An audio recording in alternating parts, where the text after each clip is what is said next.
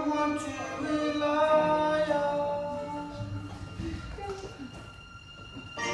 came across a fallen tree.